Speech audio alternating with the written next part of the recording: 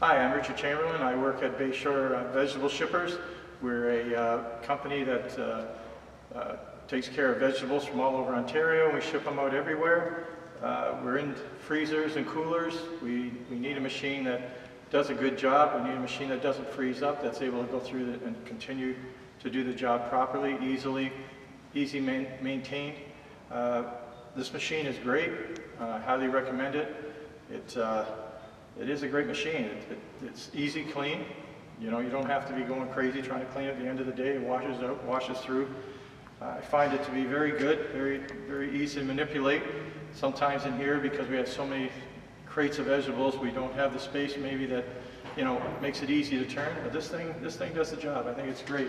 It, uh, it's easy to load up, easy to fill up, the soap and all that. There's just really not a downside to it. Factory Cat is a, uh, is a good machine. The brushes are easy to replace. I don't really see anything wrong with it. I think it's a good machine, and uh, I would recommend it.